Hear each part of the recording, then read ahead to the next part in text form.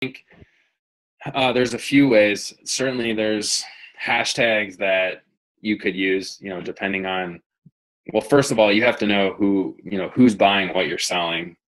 You know, I've identified that a creative director or an agency producer or an account executive at an ad agency um, are going to buy us as a production company, so to speak, or put us forth to bid on a job.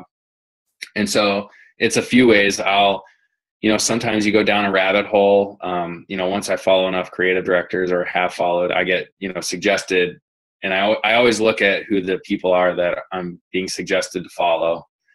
And um, inevitably a lot of times they're you know they work at ad agencies so i'll connect with them and you know start conversations and some people you know they don't engage back and so i just kind of let it go. Um, other times you know if i'm at an event I'll you know go through the program and I'll look people up and to see if they're they have an Instagram account. You know, I was just at uh, an event in Colorado a few weeks ago, and there was a guy that spoke that I thought what a lot of what he had to say was awesome. So I wanted to connect with him, and you know, he had a very he had like the hello at whatever you know as his email in there. So it's basically like I don't really want people to reach out to me is the vibe, you know, when they put that in the program. But I looked him up on Instagram and you know he had a decent following. He was engaging. I could tell in all his pictures that a lot of people were leaving comments and he was answering back. So i shot him a note on there and he responded back almost immediately and we met up you know? And so to me it's just like it's an additional i don't know phone book that you look people up on just like people did in instagram just people i'm sure do on twitter you know? Um, i just looked them up by their name on their account and most of the time you know someone at least in my field my customer so to speak has an instagram account.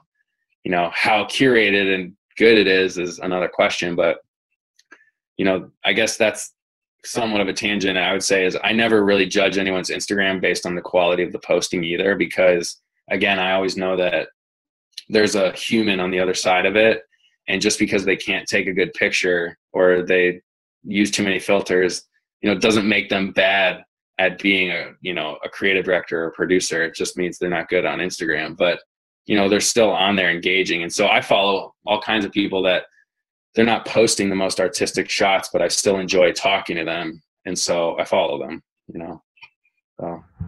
All right. Yeah i think uh, the Instagram it does a really good job of suggesting people, and if you can find people that you know you you know who your target customers is, or even you know your current customers, go follow them on Instagram and see who uh, you know you're being suggested, and see if you can reach out to them, or if you can get an introduction to them, and just build a relationship with them based on on their posts. And I think it works even better with like small accounts, right? Like people with hundreds of thousands or millions of followers, celebrities. So uh, they're not necessarily going to be able to, you're not going to necessarily be able to build a relationship with them. That comment or post necessarily might not matter as much to them as it would to someone who only gets maybe one or two, three comments on, on their posts. Um, so you can really build an authentic, real relationship with those people and identify them, especially if they're a potential big client for you. As you said, you know, like not everyone has a has a fantastic. Um, it might be well, not everyone is great at Instagram.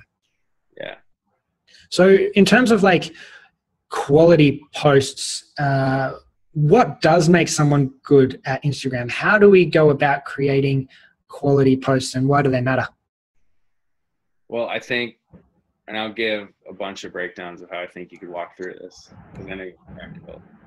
Uh, I think first and foremost, if you can take a really good picture uh, that is a huge advantage. You know, Instagram is a visual platform first and foremost. So I think strong visuals are important.